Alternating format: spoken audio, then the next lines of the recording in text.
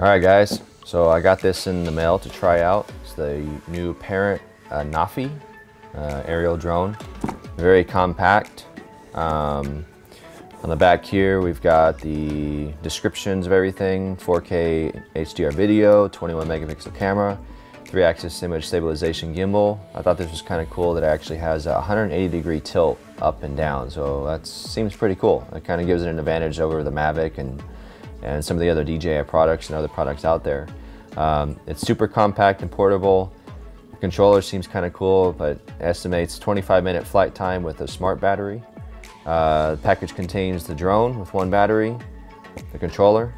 It says it has 16 gig memory uh, SD card in it, uh, USB-C cable, eight additional propeller blades, and the carrying case. So let's open this thing up and see how it is.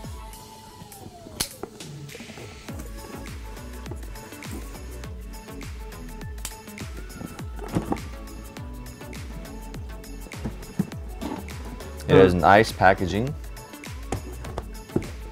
So we've got the little parrot case here. I'm guessing this has the drone in it. We've got the controller. Seems kind of interesting. We got the USB-C cable. We've got quick start guide and flight safety guide. And this is the extra propellers. And other packaging. All right. Open it up. And there is our drone. So legs extend out. Seems uh, honestly kind of, I mean, it's, it's, a cool compact setup, but it's a bit flimsy, uh, especially after you use like the DJI products. Legs are, I mean, it's definitely, it's not as high quality plastic as some of the other products, but camera seems nice. Uh, it says 21 megapixels, 4K HDR, 2.4 lens. Pretty cool. Uh, the battery, oh, there we go. There's the battery. Battery pops off, charges there. And oh, it looks like actually the SD card is inside. So you have to remove the battery in order to change the memory. All right, there's the controller. Controller slides up.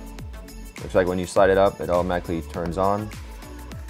So we've got the phone clasp. Looks like it will only hold a phone, it will not hold a tablet, just so you know. See if it'll hold my LG phone. Seems kind of. All right, definitely don't recommend using your phone in its case.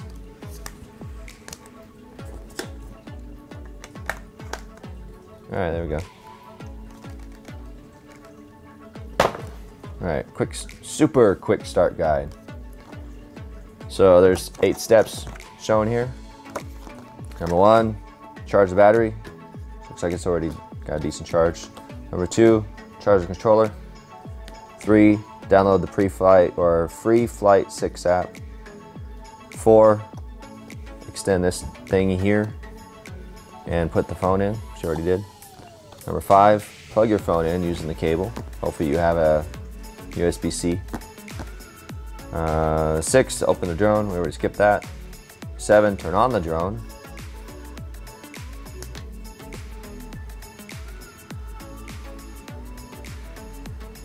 All right, so to turn on the drone, just a one button.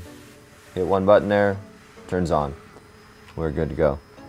Number eight is push this button, and it pushes the, or I guess it puts the uh, drone into flight mode. So we'll do a couple tests and see how it actually flies. Um, like I said, overall, like first impression, like the drone, the gimbal seems pretty good. You know, you look at, stays with it well. Um, see, you know, looks like it's already, it is already connected. So we got the tilt control. I wonder if you can, I hope you can adjust the tilt speed. Not sure what these other buttons do yet. Looks like this is a magnifying, so maybe oh, zooms in and out. Controls left, right, up, down. Got the home button. Up, down, which I don't really want to press that yet until I install the program. Alright, so I'm to install the app, and we're to do a little test flight and see how it does.